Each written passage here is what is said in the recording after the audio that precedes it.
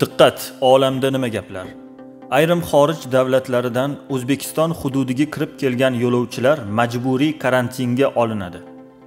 Jumladan, endilikda xorijiy davlatlardan O'zbekiston Respublikasiga tashrif buyuruvchilar mamlakatimizga tashrif buyurishdan kamida 72 soat oldin topshirilgan koronavirus infeksiyasiga PCR test natijasi bo'yicha manfiy ko'rsatkichga ega ma'lumotnomaga ega bo'lishlari lozimligi koronavirus infeksiyasiga pcr test natijasi bo'yicha manfiy ko'rsatkichga ega ma'lumoti mavjud bo'lmaganda aeroport temir yo'l vokzallari va chegara o'tkazish punktlarida tashkil etilgan koronavirus infeksiyasiga ekspress test topshirishlari shartligi belgilandi.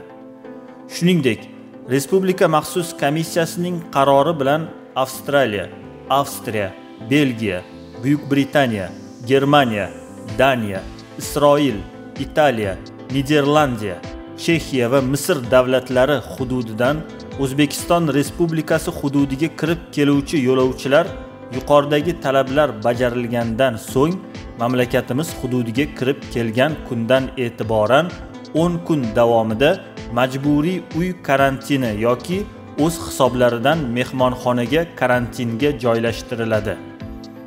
Biz avvalgi videolarimizda ta'kidlab o'tgan edikki afrikadan koronavirusning yangi shtammi paydo bo'lgan edi. Albatta bu shtamm bundan avvalgi turlariga nisbatan juda ham tez tarqaluvchi tur ekan. Shunga binoan jahonda boshqa ayrim davlatlarga ushbu shtamm kirib kelgan va tez tarqalmoqda. Shuning uchun o'zbekistonga ham mazkur shtamm kirib kelmasligi uchun chora tadbirlar ko'rilyapti. Avvalo bu xalqimizning yurtimizning salomatligini himoya qilish maqsadida qilinayotgan chora tadbirlar ekan.